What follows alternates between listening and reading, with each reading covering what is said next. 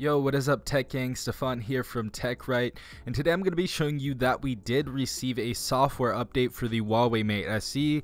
Um, obviously, the 7X has got the uh, Oreo update if you guys did not know about that, and we're going to go ahead and see if we got the Oreo update. I'm not 100% sure if we did. It seems like it's just going to be a little patch as you see right here, but we're going to talk more about that after the intro. Stay tuned.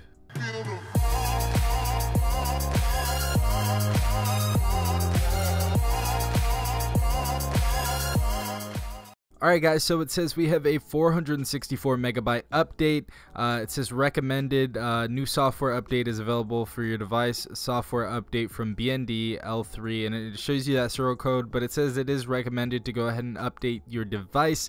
Um, I know some weird things were happening with the battery percentage, so they're probably just smoothing out the edges on this device. Uh, but it says the security patches that we have is this upgrade contains latest Google security patches. Uh, the improvements it says it says this upgrade improves system performance and stability for smoother operations. Uh, so that's always a positive update. So it does give you some notes right here, and make sure you follow this so you can go ahead and properly update your phone. It says you can update your phone by downloading the update package to your phone.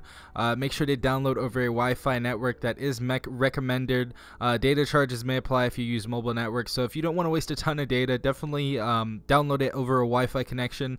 Uh, and it says make sure your phone battery has enough power 50% or more.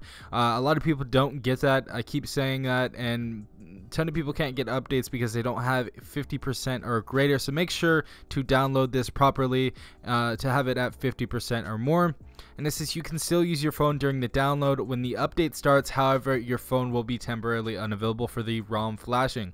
This update may take a few minutes. It also says you can roll back the system to an earlier version. For details see the rollback guide that comes with the update package before rollback. Back up your data because the rollback will erase all your personal data. So you want to go ahead and click the update button right here. And we're going to go ahead and see what happens to our device. We might get Oreo we might not.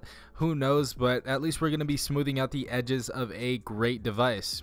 So it's going to go ahead and restart and download the update and we're going to go ahead and see what happens. I'll be back in a sec. And just as an example for you guys this is what you're going to be seeing when you are installing your update. Uh, it's actually been pretty quick so far but it says EMUI right there and we have our little downloading screen circle thingy and it says installing update. So just make sure that your phone is not doing anything weird it's just installing the update so the device is now updated the software update was successful. Uh, we're to go ahead and check out if we have Android 8.0 now. Uh, probably not. Yeah, see, Android version 7.0, we do not have it yet. Uh, the Honor 7X did receive it, so we are probably to be receiving it very, very soon on this device. Uh, but sadly, we haven't received it yet.